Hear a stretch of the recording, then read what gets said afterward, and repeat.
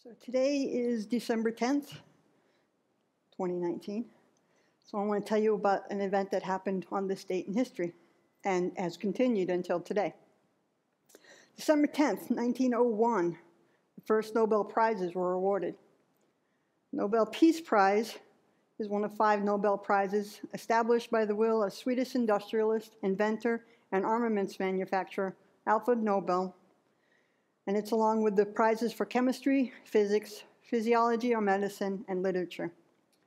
Now, Alfred Nobel was a chemist, and unfortunately, he invented dynamite, and he invented another um, explosive that he actually witnessed people using against other people, which is probably why he invented the Nobel Peace Prize, but nobody's really sure why. So with regard to the Peace Prize, in the will of Alfred Nobel, it stipulated that it was to be awarded to the person who shall have done the most or the best work for fraternity between nations, for the abolition or reduction of standing armies, and for the holding and promotion of peace congresses.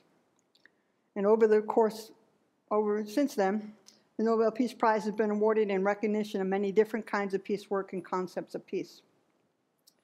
The earliest peace prize, peace prizes, up to World War I, the prize was often awarded to pioneers of the organized peace movement. In the interwar years between World War I and World War II, the focus shifted to active politicians who sought to promote international peace, stability, and justice by means of diplomacy and international agreements but the prizes were also awarded for humanitarian work. Since World War II, the Peace Prize has principally been awarded to honor efforts in four main areas arms control and disarmament, peace negotiation, democracy, and human rights. Democracy and human rights, and work aimed at creating a better organized and more peaceful world. In the 21st century, the committee has also started looking at ways to um, limit the harm done by man-made climate change and threats to the environment in order to award the Peace Prize. So, December 10th, 1901, Henry Dunant it was a co-recipient for his role in founding the International Committee of Red Cross.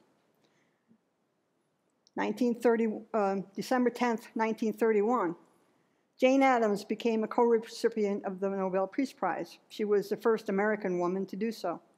For her, it was for her social reform work and leading the Women's International League for Peace and Freedom. And, yeah. December 10, 1950, Dr. Ralph J. Bunche was presented the Nobel Peace Prize. He was the first African American to receive the award.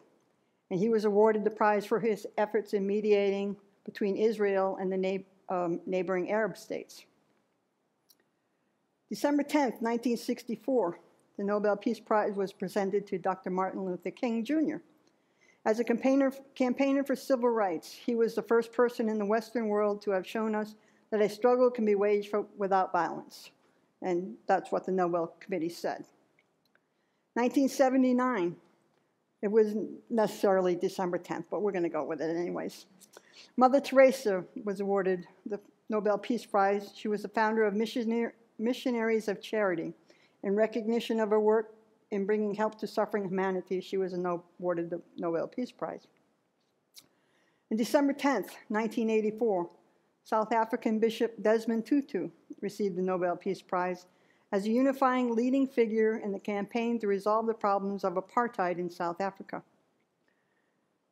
The uh, committee said Though the award of this year's Peace Prize, through the award of this year's Peace Prize, the committee wishes to direct attention to the nonviolent struggle for liberation to which Desmond Tutu belongs, a struggle which black and white South Africans unite to bring their country out of conflict and crisis. In 1989, not necessarily on December 10th, but still, we're going to go with it. The Norwegian Nobel Committee has decided, decided to award the 1989 Nobel Peace Prize to the 14th Dalai Lama, Tenzin Gyatso, the religious and political leader of the Tibetan people. The committee wants to emphasize the fact that the Dalai Lama, in his struggle for the liberation of Tibet, consistently has opposed the use of violence. He has instead advocated peaceful solutions based on tolerance and mutual respect in order to preserve the historical and cultural history of his people. The Dalai Lama has developed his philosophy of peace from a great reverence for all things living and upon the concept of universal responsibility, embracing all mankind as well as nature. In the opinion of the committee, the Dalai Lama has come forward with constructive and forward looking proposals for the solution of international conflicts, human rights issues, and global environmental problems. Yay. December 10, 1994, Yasser Arafat, Shimon Peres, and Yitzhak Rabin received the Nobel Peace Prize. They pledged to pursue their mission of healing the Middle East. Now, I don't know if you noticed it, but there was an omission there. And that person who was omitted was Mahatma Gandhi. Mahatma Gandhi was nominated for the Nobel Peace Prize in 1937, 1938, 1939, 1947, and finally a few days before his assassination in January of 1948. The omission has been publicly regretted by later members of the Nobel Committee. They said, the greatest omission in our 106 year history is undoubtedly that Mahatma Gandhi never received the Nobel Peace Prize. Gandhi could do without the Nobel Peace Prize, but whether the Nobel Committee can do without Gandhi is a question.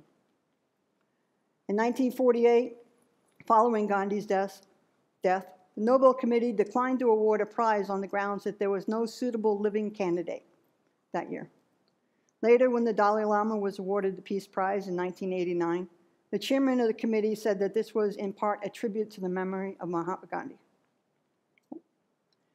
So, three times the Nobel Peace Prize has been awarded to the International Committee of the Red Cross, the one who received the first one. That's in addition to the first one and that was in the year of 1917 during the First World War, 1944 during the Second World War, and 1963, which was to honor them for the 100 years of service.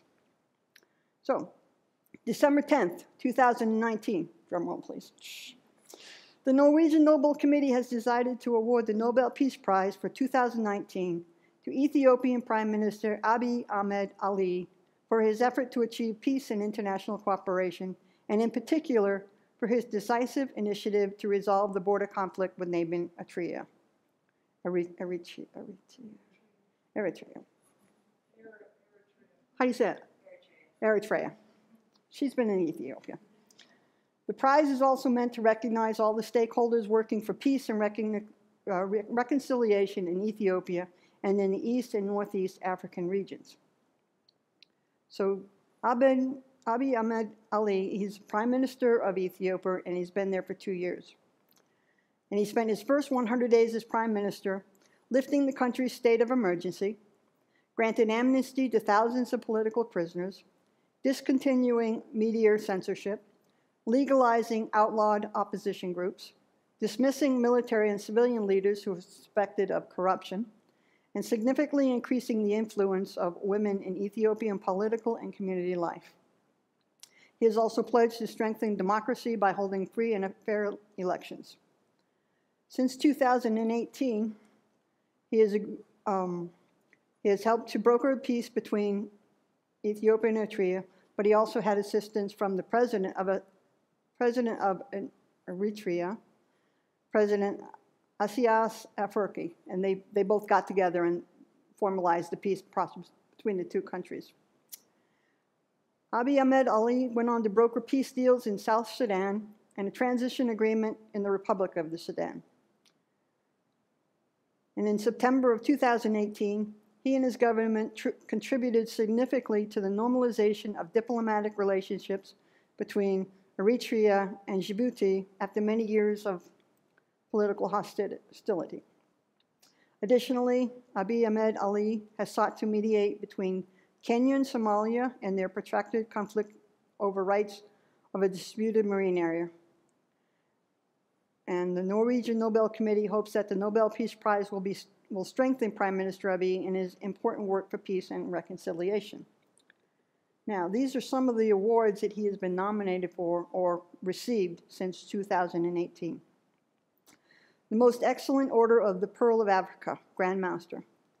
The Order of the Zayed Medal, High Rank Peace Award, Order of King Abdulaziz, It's Saudi Arabian.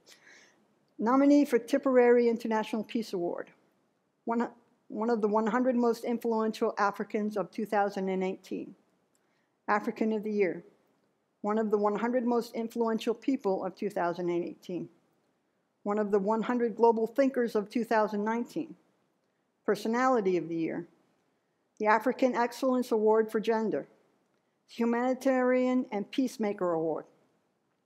The laureate of the 2019 edition of the Felix Houphouët Boigny. It's a, it's a UNESCO Peace Prize. The Chatham House of Peace, the Chatham House Prize 2019 nominee. Peace Award for Contribution of Unity to Ethiopian Muslims. World Tourism Award 2019. Hessian Peace Prize. African Association of Political Consultants Award. And of course, the Nobel Peace Prize. Kind of makes you see bodhisattvas in the here and now, doesn't it?